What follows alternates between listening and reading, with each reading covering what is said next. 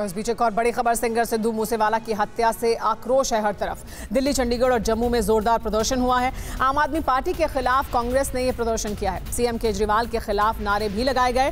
कांग्रेस की सीएम भगवंत मान से इस्तीफे की मांग भी की गई। दिल्ली, जम्मू, पंजाब में यह विरोध प्रदर्शन किया गया।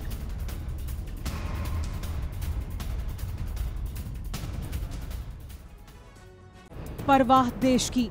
सोमवार से शुक्रवार रात 10 बजे टीवी 9 भारतवर्ष पर।